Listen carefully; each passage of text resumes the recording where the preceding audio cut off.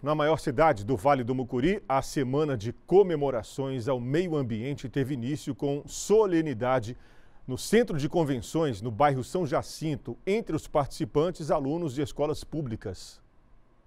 A solenidade dedicada ao Dia Mundial do Meio Ambiente foi realizada no Centro de Convenções, no bairro São Jacinto.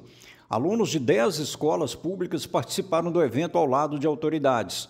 Houve visitação aos ambientes de reciclagem de materiais, mudas doadas pelo IEF, Museu de Bichos Empalhados da Polícia de Meio Ambiente.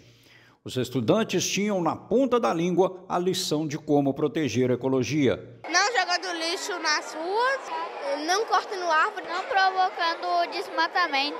A Prefeitura investe em ações de proteção ao meio ambiente aliada à educação ambiental, segundo o secretário. A Secretaria e o governo municipal acredita muito que essas séries iniciais, esse trabalho desenvolvido, vai causar um impacto mais positivo e a gente vai conseguir um resultado melhor com relação à sustentabilidade no município. Quando a prevenção à ecologia falha, a Polícia Militar é chamada para agir contra os infratores.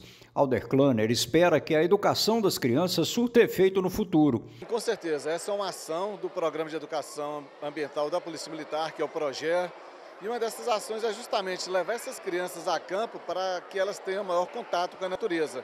Momento em que eles terão palestras é, diversificadas sobre a, recursos hídricos, fauna e flora aqui da nossa região e a gente espera que eles sejam os multiplicadores de educação ambiental aqui na nossa região, os familiares, pais e amigos. Pequenos gestos definem o futuro. Esse é um dos desafios da educação ambiental. Fazer com que o conhecimento que é passado aos alunos em sala de aula seja respeitado pela família ou pela sociedade.